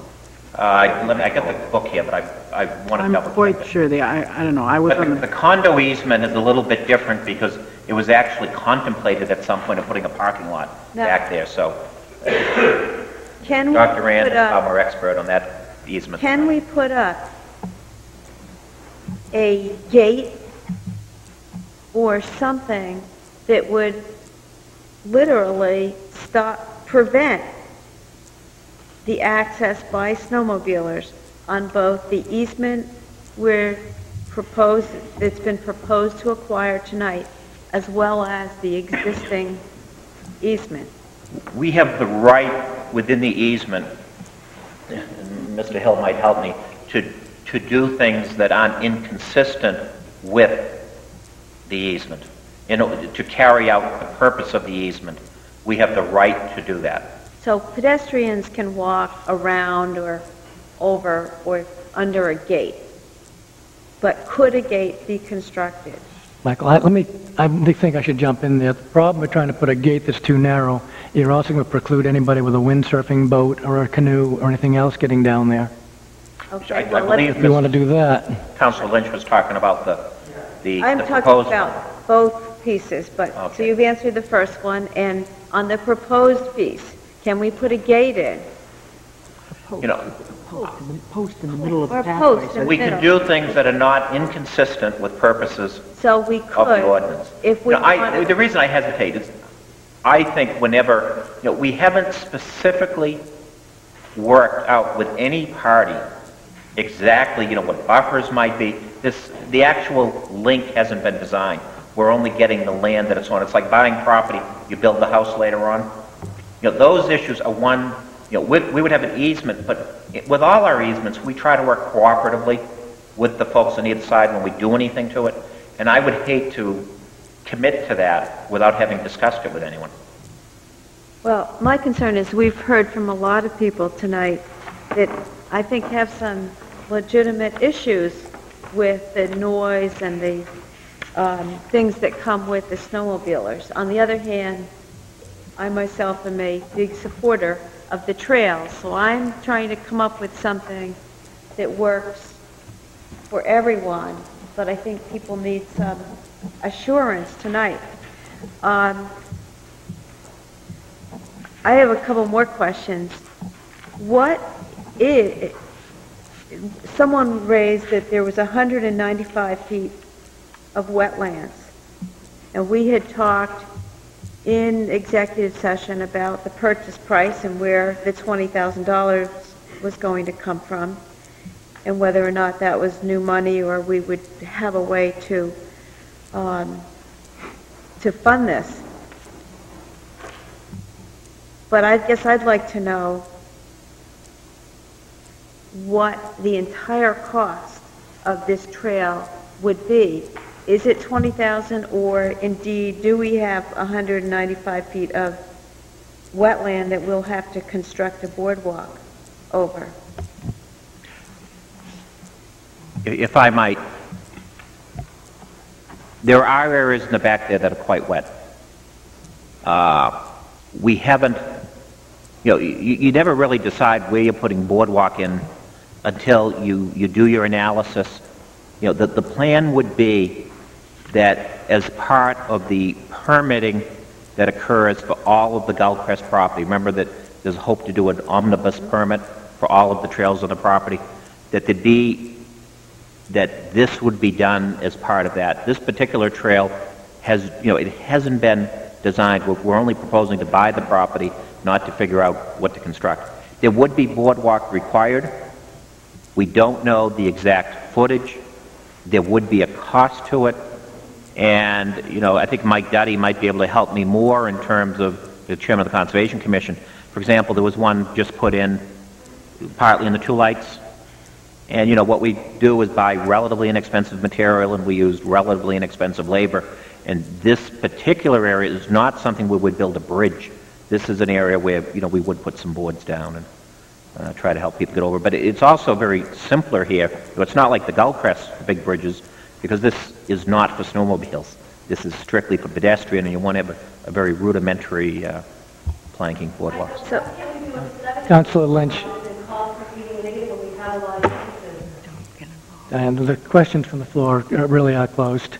Um, Mary Ann, have you been down to Great Pond? I have, Have you been on the Great Pond Trail? I have not been on the Great Pond Trail. I have. What it is is a series of bollards and double boards that makes it very difficult to even ride a bicycle on them, but you walk across it. Very cheap, very easy, and it precludes anything other than people walking to go across it. And that is a potential way it could be Are we addressed. tonight, are we sure sitting here tonight that if we spend $20,000 on this trail, that the additional cost will be within the normal Conservation Commission budget? Mike, would you? And, and maybe they can answer that. If it is, then I don't have a concern, but I would be concerned if someone said it's going to cost another $50,000 to do this trail. I am familiar with the area. I have recently walked it, and I can answer that yes, it is well within the normal costs of uh, what the Conservation Commission would expect to incur for very um, routine trail building. We're not talking about um, a signature structure like we are um, over on the other side of the uh, Gullcrest Trail. Um, to echo uh, the the chairperson's comments, what we have in mind is a two or three plank wide system on sleepers um, that, you know, you have to walk on paying attention and do not accommodate snowmobiles. In fact, one of the um, attributes of that may be that rather than putting a gate, you've got access from where the snowmobiles are that is untraversable uh, by a snowmobile. Thank you, Mike. Any further questions, comments? Councilor Carson. Well, I, I, I've been sitting here listening to people, and, and um, I have to say that I was on the council when we first did these in the late 70s, when we first talked about it. And uh, at that time, it was a very exciting proposition that we could provide open space for all the citizens in Cape Elizabeth, and that we could do it on public, on what would then become public easements or public lands, and this would be a fabulous opportunity for the citizens of this town. And we have proceeded to do that very successfully. And I actually just recently received a phone call from a town councilor in Falmouth saying, you're so far ahead of us. We're so far behind. We're buying public lands. We're trying to get up with you. We realize that we have to protect open space. And I felt good that we had been successful all these years through the Land Trust and through the Conservation Commission and through the town. And, I, and I've been sitting here trying to think back because the kinds of things that you all are feeling in your hearts about your properties are the kinds of things that other people have felt. This is not, I mean, it, it's a normal reaction. It is not unusual. I myself have what I thought was an un, basically not going to be very well used, almost a paper road behind me. It's the best thing that's ever happened. I've met every citizen in Thrower Acres now because they walk back there, they walk their dogs, and I, and it's like six feet away from my kitchen window. And so that's the deal. We share the, we share the land in this town. We share, it's not my road. It's not my private area. I can't prevent them from being there. The kids ride their bikes. They come with the dogs. My dogs bark all the time. It's a real pain in the neck. But I wave to people because it's not that often. It is just not that often. People, as much as we want this connection, it's a very few people who will walk from Oakhurst Road or, or Rocky Hill Road all the way to Crescent Beach. It's, it's not, you, people walk in the paths in their own area. All the development that we've had on open space from Stone, what's the name of it? Stonegate. Stonegate and all those, all of those places have trails all around those houses. Nearly every single neighborhood now, because we build our neighborhoods, and we have since the early part of the 19, since the 1920s anyway, are built in clusters. In clusters. All over the town was developed in clusters. It's only recently that we've strapped our open space with big two-acre lots of houses, but the rest of the neighborhoods within clusters. And all around those neighborhoods are these trails. And I understand what Mark, what he was saying when he talked about the fact that we have less problems. And you know, when you say to us, it's so difficult for me because I've lived here all my life. We're all citizens of the town. We all, we are all citizens. The Conservation Commission are all volunteer citizens, and they're trying to do what they think is going to be good for the town for the future. And I understand everybody's need to protect their, their little niche, their little piece of the land, their little yard. Everybody wants to do that. But the fact is that we're sharing this land. We don't, it is, it, it is all, doesn't all belong to each one of us. And um, when we, in other incidences we've had with traffic problems, with some land issues, people talk about it all the time. We've got kids, we've got broken bottles, we've got gallon bottles. I'm telling you, those kids all belong to us. Now, if they go down to out past Councilor Lynch's house, driving their cars to their, out to the field past their house and set a bonfire and do their thing, her kids are too young, but they may be there one day. They belong, all those kids mostly belong to us. And when kids drive too fast or people drive too fast down the neighborhood, which is dead-ended, those people are usually your own neighbors. And just like you said, your kids may have been down there, your kids are now grown, and so now you're the, they're your neighbor's kids. We don't want the kids. The police go down there. The police get hassled for.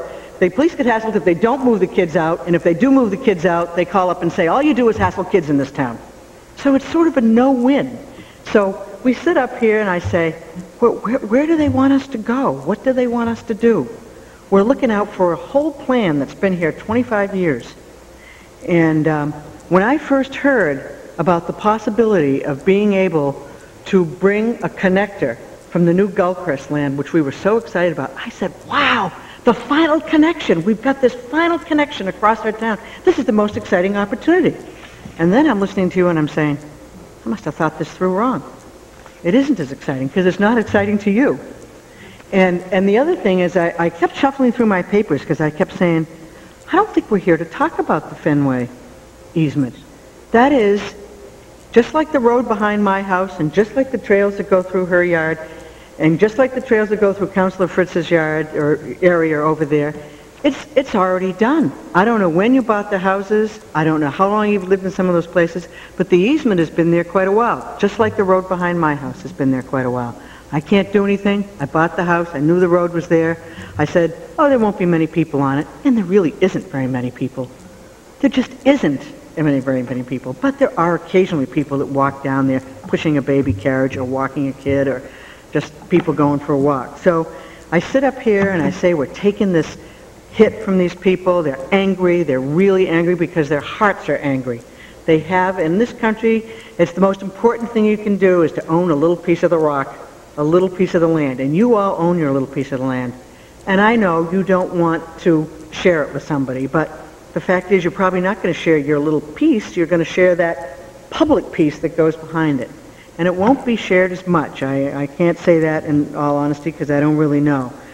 But we're going to sit up here and we're going to try and do our best. We, I came home last night from nine days away. I opened my 107 emails this morning. I say, what? I got some meeting at 5 o'clock and I have to be at another one at 7? That happens. We really made an effort to inform you, even though we didn't, I, I was, I saw all the people. I said, wow, what are all the people doing out there? And they said, oh, well, we sent notices to everybody. I said, oh, that was nice. Since it wasn't something I didn't, ex- I didn't expect to have happen. We're going to go up here and we're going to sit up here and we're going to try and do our best. We can't do our best for one group or one group or one group. We're always trying to do our best. We don't. We are not neighborhood, despite the fact that you have the chair is, lives in your neighborhood, and he has made every several efforts to look out for the neighborhood in other areas. I might add. It, it is inappropriate. We're not elected as district councilors up here. We're only elected to represent everybody in the whole town. So when I look at the easement that we're talking about tonight, I'm looking at some couple who moved here from Mitchell Road from Minnesota and said the most exciting thing is I live in Mitchell Road and we have this wonderful trail system that goes right behind our yard. So they're looking at it as a positive. So, and I know that it's your anger and your emotion that makes you, and I know you don't want something because you're, you're up against it, but we're going to have to just do our best here, and we're going to have to represent what we, what, a plan that's in place, a plan that's been a public issue. Belt, uh, green belts have been in the public for a long time. I came on the council in the late 1970s. I didn't know what a green belt was, and now we all know what it is. And I, and I, you know, I, so I, I say to you, I came here with a very positive idea that this most exciting connection has finally happened to us since the late 1970s when we really thought about this whole Greenbelt plan. And I can only hope that if it's passed here tonight, that it works out well. We cannot discuss the Fenway easement because that's not on our agenda to discuss the Fenway easement tonight. We can only discuss the one easement, the one issue. That's the only public issue that was announced for this meeting. So that's what we have to discuss. So I can, I, I, um, I have listened to you. I understand your concerns. And as I, under, as the, as the chair of the Conservation Commission has said, we've heard people do respond. People react. We all react.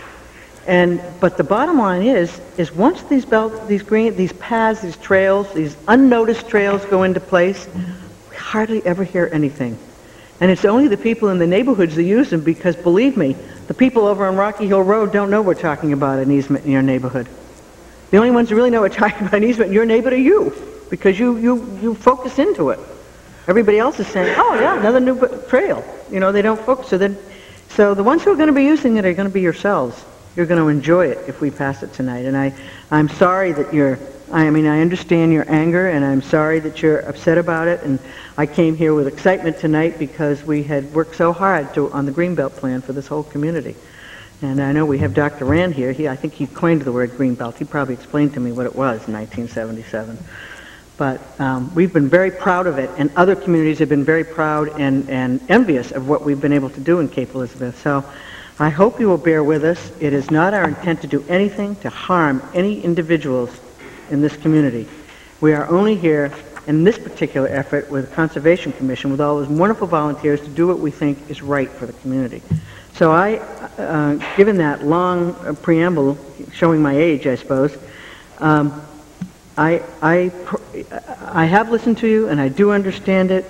Uh, I probably will, I will be supporting this effort because I think it is the right thing to do for our entire town as we have planned it. So that's where I am. Thank you. Who would also like to speak up? Councilor Fritz. Well, uh, um, you've expressed your feelings very eloquently, and I, I would have to definitely agree with what you've said. I I've served on the comprehensive planning committee and, and all the whole process of the Greenbelt and been with the land trust and all.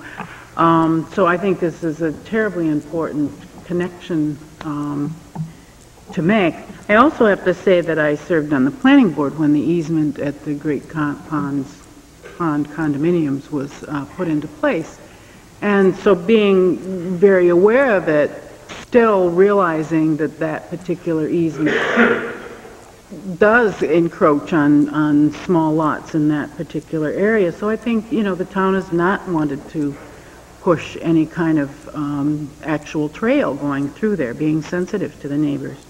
Um, But I think the, the, the concept of this Greenbelt plan, particularly as the Conservation Commission has been working on it, is that pe- working to get neighborhoods to have access to open space, so that you're provided with an area near you that you can walk from your house and enjoy the woods and all. So, I mean, this provides your neighborhood and, and the other neighborhoods on, on Fenway, or on Fowler Road, a legal access to the whole of, um, the, the, the Poor Farm and, um, the, um, uh, uh, property. Um, this is really your legal access in your neighborhood, the way the Conservation Commission has expressed the Greenbelt. I, I really think it's important for signs. I mean, I think fellow councilors know I've been harping on proper signs because that keeps people um, knowing where they're supposed to be. Um, I don't think a gate is a particularly good idea because I think that would force people around off of the, the actual path that they're supposed to be on. Um, but I, kids gather in the woods now, kids gather in my private area as well and have parties. I mean, I don't know how you ever stop that. Um, but I think that the issues of security really are, you know, you think about it and, and it seems like it would be a big deal, but people do not, it, it's your own neighbors that are walking on these trails, so, um, I'll be supporting this. Council McGinty. Um, a lot of issues regarding the scheduling of this meeting, and I'm satisfied that it wasn't the council's um, uh, situation to um, to schedule. I mean, we were the 15 days were imposed upon us. It wasn't us making that um, proactive uh, decision to have it within 15 days. That was foisted upon us, and so I'm satisfied that we tried to do our best. Perhaps the notices could have been done more efficiently, effectively. However, I think we did the best we could, all things considered. Um, and although um, I would always notice people, although we're not required by law to do that, I would always notice people any chance we get, and I think we do a pretty good job of doing that. Also, in the in the uh, Greenbelt plan, it states clearly states that they suggest that it be appropriate for the town to purchase a property on the north side of Fowler Road when it is offered for sale. The town could then establish pedestrian easement on the side of the property and then resell it to the new owner. Um, we've not done that exactly, but at least that was in the plan. It's not something that wasn't out there for anybody to read and to know that when those properties came up for sale, that we would perhaps be looking at that to purchase one of those properties for this very reason. It's also clearly indicated on the map and almost almost exact location that we're looking for a easement through that property. Um, as far as the enforcement issues of any illegal activity or trespass or anything like that, I think those are exactly that. They're enforcement issues that need to be taken up with the proper authority, whether it's the police, the fire department, whoever enforces those. And I think that that needs to be done. Um, I, I'm not sure where this came from. It came from the Joyces, I think, but, and you told us you went the to the... number of calls down there. And, and I know that I've been down there, I've been both, both the police and fire department, so I've been down there, I understand the situation. Um, but again, those are enforcement issues that need to be taken up with the police department whenever, whenever they occur. Um, and finally, my own personal experience, I have a public easement on the property behind my house. And the one thing I know for sure is there'll never be a house built behind me, so um, it's not always a bad thing. So I'll be supporting it. Councilor Swift-Kayatta. Um, First of all, I want to thank everybody for coming out. I do know that the notice was, um, was short. I appreciate you taking the time and expressing your views, and I, I can assure you that the council does listen. I've been concerned that some people in the audience who are understandably upset um, think that the council has a lack of caring about this issue and that we're not concerned about them. And my, my answer would be, I know personally, all for myself, and then I believe all the other counselors do indeed care. We're, counselors are volunteers, and um, no one's really in it for the, the big bucks or the glory, because there doesn't seem to be a whole lot. Um, and I'm not sure what our motivation would be to try to, um, you know, make people mad on purpose. Um, there was no legal requirement for, for notice of these meetings, but we, we did because we wanted to go the extra mile. There was no legal requirement for a public hearing or public input but we wanted it, so that's why we sent the notices. And yes, there was a screw-up with the address. It was a clerical error, and on behalf of the town, the manager has apologized, and as your counselor, I apologize too, but mistakes do happen. Um, There have been a number of important issues raised. Um, The issue before us, what we have to vote on, is the proposed purchase of the easement at 183 Fowler Road. Um, And then a number of other issues have been brought forward by citizens, and it's important that we hear those issues because they're obviously of of great concern to you and should be of great concern to us. But the issues that I heard were, um, and they're in no particular order, snowmobiles. On this easement that we're voting on tonight, snowmobiles and other motorized vehicles will be prohibited. Um, And that's what is legally uh, correct as for what's, uh, people have said, well, what's practically going to happen? I, I think there would, can be some ways, and I would hope that we would make sure that there are ways to ensure that snowmobiles cannot go across this 15-foot strip of, of, of property across the, uh, across the Gullcrest. And th- those ways may include a post, they may include a chain. I think a gate might be sort of unwieldy, but Mr. Duddy mentioned that by nature of the way that the, the trail has to be built, it may be impassable to snowmobiles anyways.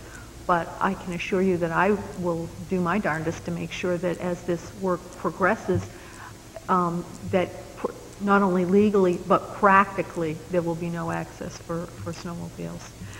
So that's one issue. The second issue is security, noise, parties, that sort of bushel basket of stuff. And those are really serious concerns. Um, I have a trail that goes along the front of my house, and people walk that trail. And um, basically, it's people from my neighborhood or people from sort of the other end of the neighborhood over towards Councilor Lynch's house. And kids go down there and have parties, and though I do not know it for a fact, I'm sure that my daughter, who is now in college, has had some experience with roaming around in the woods, as much as I might not have approved of it. But um, I, I must say that I, I think that the security issues are going to be minimal here. I doubt very much that kids who are going down to party towards Great Pond are going to be coming from Gullcrest along this easement and then across the street and that, then down Great Pond. Um, so I don't think that this particular easement is going to contribute to that.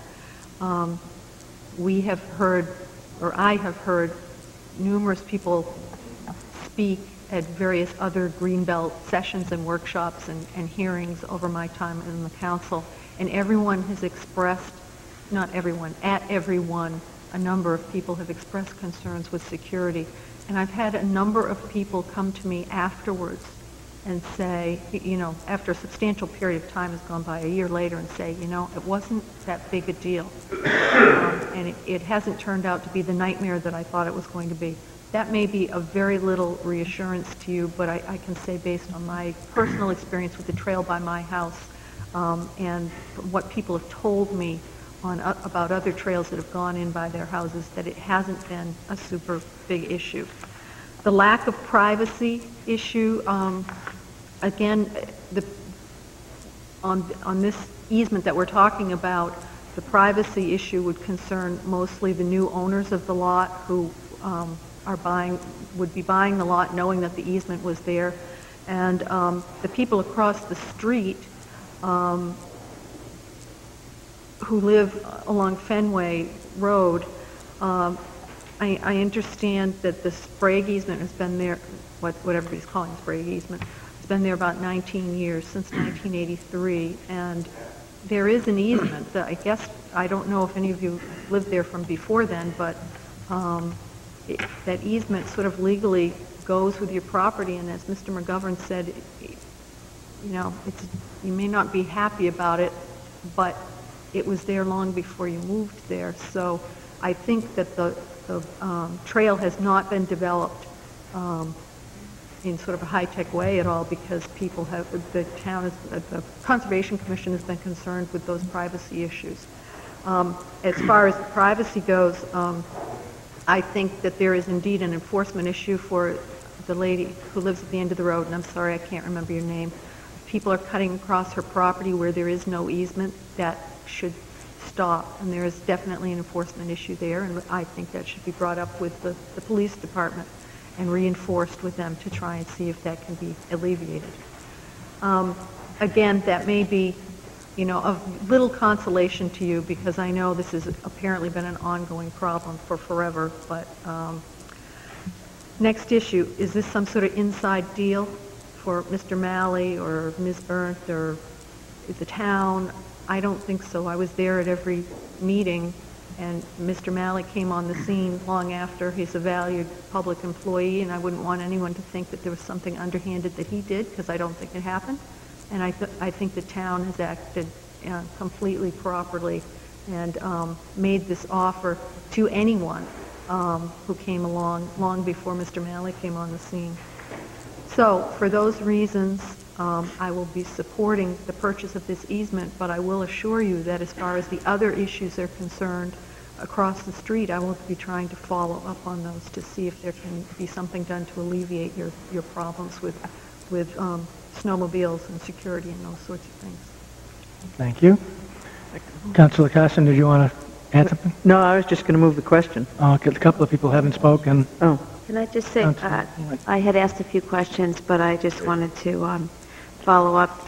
Councilor Swift Kayatta has done a very good job of um, identifying the issues, and, and in large part, I agree with um, everything she said. Um, I would just want to uh, encourage the Conservation Commission and the neighbors who are here tonight to work together on the issues of signage uh, and the um, snowmobile issues because um, clearly it is the council's intent with the language of the easement which prohibits the snowmobilers. And this is something that we've discussed and discussed when we accepted an easement just at our last meeting last month, the issue of motorized vehicles. So I would encourage um, the neighbors who are here and the Conservation Commission to work on those two issues. And lastly, I would just also um, point out on the notice issue, notice is often, the, whether or not the notice is adequate is often a function of the circumstances. Um, as was mentioned um, earlier, Thanksgiving is a is is this week, and we were concerned about holding it at a time when people were still around, when they're not cooking on Wednesday night. Um, I do think, given the number of people here tonight, um, suggests itself that notice was adequate because people did um, indeed hear about it and come, and that we're glad you did. You did come, uh, but it would have been worse for us to hold a meeting, I believe, on Wednesday night or on Friday night. So, um, finally, I'll be supporting it. Um, I think this is a benefit to um, the people of uh, that live, especially in the Fowler Road um, neighborhood. I think that you will end up using it as a neighborhood trail. It'll give you great access to Gullcrest, but more importantly, it is a benefit for the entire town, and it, it does enhance our trail system. Thank you. Councilor Berry. Uh, Just uh, one technical point on the proposed easement, which I have discussed with Mr. McGovern, and he's going to correct it. It- it- it re- There's a reference to signs approved for marking by the Cape Elizabeth Greenbelt, and greenbelts don't do anything. It Has to be people, has to be, uh, uh, and I assume it will be either the council or something, and that language is going to be cleaned up. Um, I came in here tonight expecting to uh, uh, pass this uh, immediately without discussion particularly, but having heard the neighborhood, it's my reaction that the neighborhood just does not want this, so I'm not going to support it. Although I know that the uh, Conservation Commission has worked very hard to put this trail uh, system together, and I know the council is going to pass this. Uh, my gut tells me go with the neighborhood. They pay the taxes. Mike, did you want a second, did you? Um, Yes, I just, I will make the change uh, that... uh, Mike, you need to introduce yourself too, please. Uh, Michael Blame Hill... secretary, not him. Uh, Michael Hill from Monaghan Leahy, uh, one of the town attorneys. I, I also wanted to respond to what Mr. McGovern had mentioned earlier about whether a, a gate or some other structure could be placed within the easement to uh, prohibit motorized vehicles.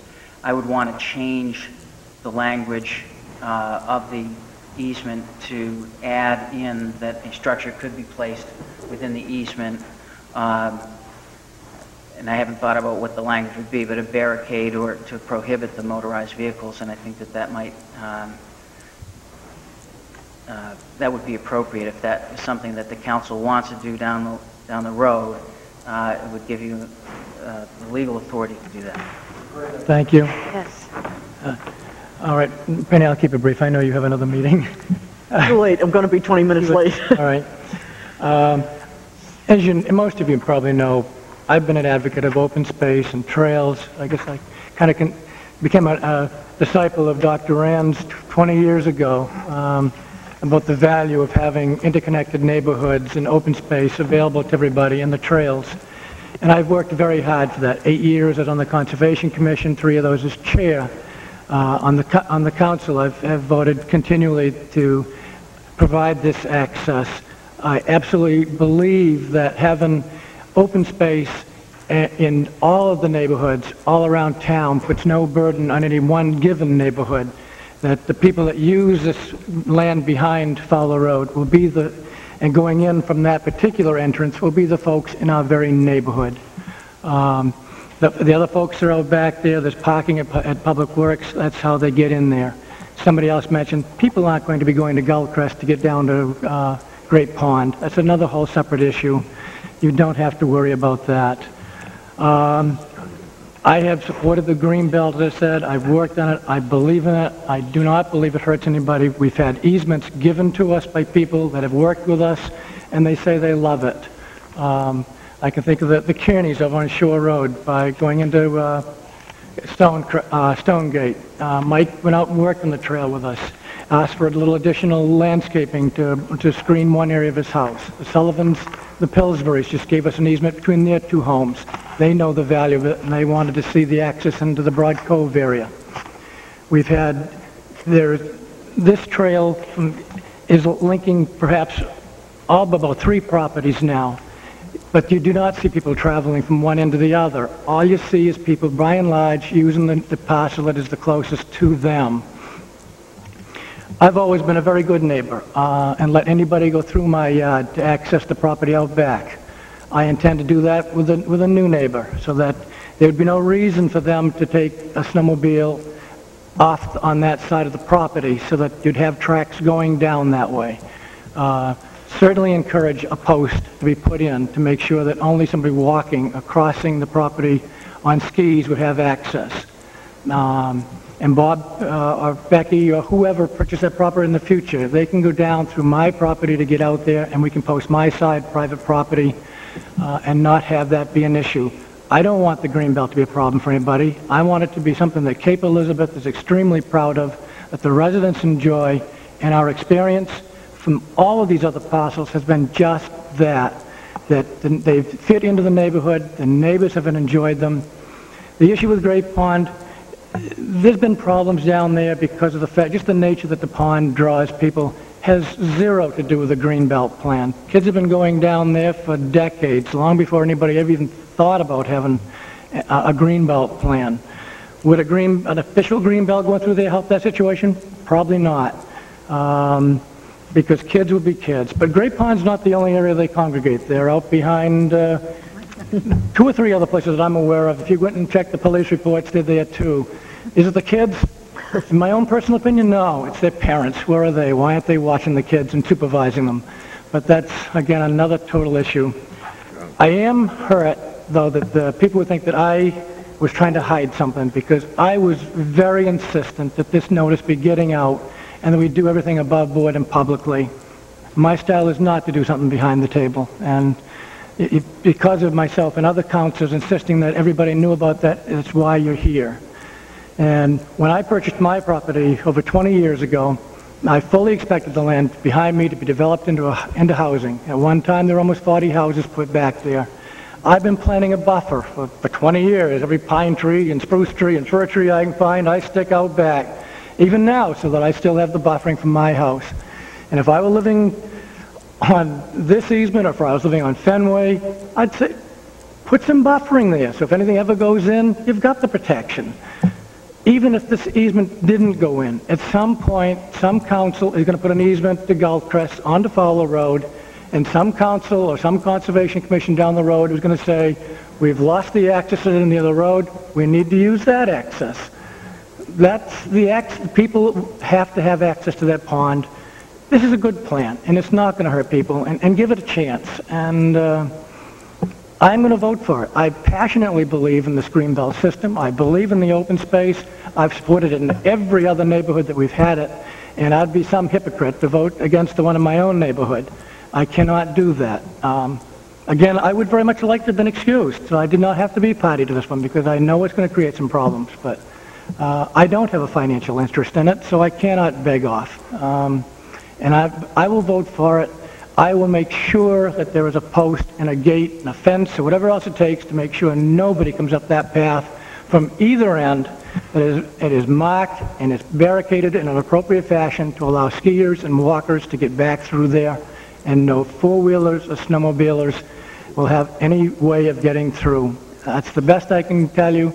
You have my promise with that, and with that, Yes, I will support it. The Greenbelt plan was excellent, and I thank you, Dr. Rand, for thinking of it. And, uh, I, I know the neighbors will appreciate it when it's done. So thank you for listening to it, to me. Shall we move the question? Certainly. There is a motion on the floor, isn't there? Do we need to Second. amend the motion, though, because of the um, Mike Hill's comments, so that the, we Go ahead, don't... the. You'll just take care of making sure that the easement is worded Right. appropriately in coming days, so that the town has the flexibility it needs. Okay. We've had a motion to move the question. Um, All in favor of the, of purchasing uh, the option if, if it's still available to us? All, all opposed? I Show it to be 6-1, Councilor Berry opposed. A motion to adjourn? So moved. Second. All in favor? Thank you, everyone.